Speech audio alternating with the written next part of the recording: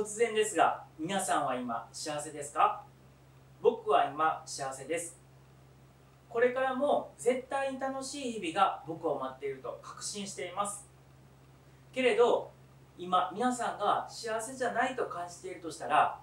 もし今僕と入れ替わったとしても幸せを感じられないかもしれません。僕が豊かな生活を送れているのは日常にあふれる当たり前で小さな幸せをキャッチしているからです。皆さんこんにちは。アフリカンペイントアーティストの証言です。ティンガティンガというアートの精神を大切にしながら僕は今ペンキ画家として活動しています。ティンガティンガとはその創始者であるエドワード・サイディ・ティンガティンガさんが大切にしていた人々を幸せにする絵という精神をもとにタンザニアの小さな村で描かれるペンキアートです。色の数を限定すればするほど幸せに近づけるというコンセプトから赤、青、黄色、緑、黒、白の主にこの6色を使って描きます。僕は2014年にティンガティンガに出会うまで名古屋のある化粧品会社に勤めていました。当時のモットーは当たり障りのない人生をでした。ですので普通のサラリーマンとして働いていました。しかしふと立ち寄った雑貨屋さんで初めてティンガティンガを目にした時にうわこの色はやばいと。そのペンキの発色が目にふわっと飛び込んできた瞬間脳天を直撃したんです。ガガガガガって。その瞬間ねあの僕はもうこれを職業にしていきたい。もうこれで生きていくんやって本当に自分で決めたんです。これがアフリカのタンザニアのアートである。と知ってから僕はまあ、知ったのがその日なんですけれどもその日の夕方にタンザニア行きのチケットを取って翌日会社に退職届を出してアフリカに行くことになりました。いやもちろん知り合いもいなかったしコネクションもなかったしもう言語も分かりませんでした。であの、当時ですねあの銀行口座に10万円しか残っていなかったんですけれどもそれを僕は握りしめて1人アフリカに渡る決断を決めました。当時タンザニアの生活のその時の始まりは、まあ、安宿に泊まりながらティンガティンガ村で行われていた観光客向けの1日体験型ワークショップっていうのに参加していました。で周りの参加者の方はヨーロッパの方が多くて観光が目的で、まあ、お土産物として自分で作成するとかまあ、思い出作りの一つとして皆さんは参加していました。でその中僕はもうこれで生きていくって決めてたんでもう無我夢中で、まあ、1週間、えー、そこに通い続けました。で一生涯をかけてこの絵を描き続けてやるんやっていうことでもう覚悟を持って、えー、そこにその時いました。でその後ティンガティンガアーティストとして最も定評のあるノエル・カンビリ先生にまあ、うちの村に来ないかっていうふうに僕は誘われたんですね。でそれが文殊っていう村でそれからその文殊の村に行きその先生とその家族と一緒に暮らすことになりました。現地の人々と全く同じ生活をしながら絵の修行を始めてそこで僕は村の人たちからとても大切なことをたくさん学びました。例えば村には村長が教えてくれたこんな決まり事がありました。それは何かというと友達とか知り合いと揉め事が起きたりいざこざがあったり喧嘩をした時は必ずその日のうちに解決しましょうというものでした。僕がタンザニアに住み出してから3ヶ月間が経った頃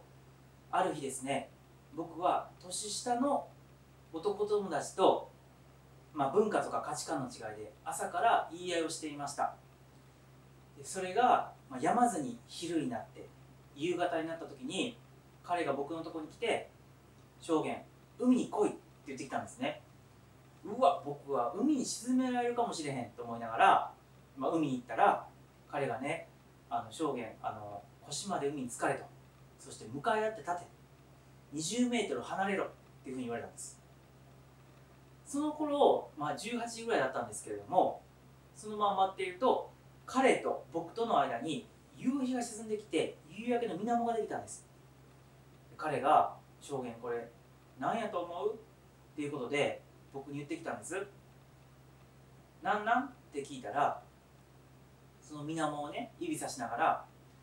温かい境界線やでもういらん言い合いとかいざこざは終わりにして一緒に帰ろうって僕に言ってくれたんです。その時になんかね僕はもう目に涙が溢れてもうすごくね目頭が熱くなったのを覚えてます。でもう大粒の涙を流してました。で彼があの僕に何を言いたかったかというと人間は自然から生まれてきたやろ。だから圧倒的な自然に飲み込まれた時に全てのことを人は許せるんやでっていうふうに言ってくれたんですよ。日本において問題を起こしてしまった人などに対してもう徹底的に攻撃をして追い詰めようとします。もっと僕は寛容な心が必要なんじゃないかなっていうふうに思ってます。で彼と言い合いになったそもそもの、ま根本的なこの原因は解決できていないんですけれども圧倒的な自然に飲み込まれた時にうわ一緒に生きてるなっていう感覚を僕は感じられました。また村でとても大切にされていたものに幸せの参加条というものがあります。まず1つ目は1日に3食のご飯が食べられるということ。2つ目にただいまと言ったらおかえりと言ってくれる人がいるということ。これは家族じゃなくても村単位でもです。3つ目は抱きしめられたら温かいと感じれる心があること。今初めてこれを耳にして、まあ、こんなの当たり前やないかと感じた方も多いのではないでしょうか。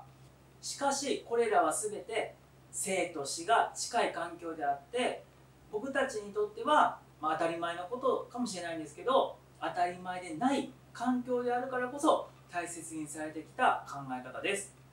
で僕も実際に、まあ、画家の友達を亡くしました。それで、まあ、明日も、まあ、ほんまに今日と同じような日が、まあ、待ってるか分からへんなって思ったしそんな環境やからこそ、まあ、生きることへの喜びと感謝を持ち続けなあかんなって思いました。でそれを、まあ、持ち続けていた村人の姿勢は、まあ、とても印象に残りました。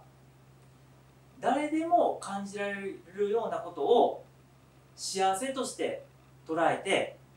小さな幸せを大事にする。そして生きているということにもっと幸せを感じよう。僕もそう思わされました。村人から学んだことはこれだけではありません。最後のエピソードとして僕がどうして生きるって楽しい。をペンキ画を通して描こうと決めたのか。そんなきっかけになったものを紹介します。村での生活も終わりを迎えようとしていた頃の話です。近所に住む3歳の女の子がお父さんに流れ星を捕まえに行きたいって言いました。するとその子のお父さんがよし行こうということでもう出て行ったんですよ。で僕はマジかと思って見てたんですけれどもまあ、1時間半後ぐらいに、まあ、お父さんとその子供が娘が帰ってきて2人でね場所が違ったんかなって話してたんです。僕その言葉を聞いてうわこの感覚や。いやこの感覚が僕にも足りてへんねやっていうふうに思ったんです。で本当にびっくりしたのはその翌日。なんとその子のお父さんとそのお父さんの友達の2人で流れ星を捕まえてたんです。で僕がその2人に「え流れ星を捕まえに行くん？って聞いたらいや捕まえに行くでと。あの流れ星が流れてるところをキャッチできへんかもしれへんけどもしかしたら落ちてるかもしれへんやろ？って僕に言ってきたんですよ。であのワクワクしながらこういう言葉を僕言ってきた、まあ、彼らの表情を見てうわこんなに楽しそうに生きてるんやと、まあ、その姿に僕は驚きました。村の人々の約半数は流れ星を捕まえることができないっていうことは知っています。そして先進国の人々の多くが、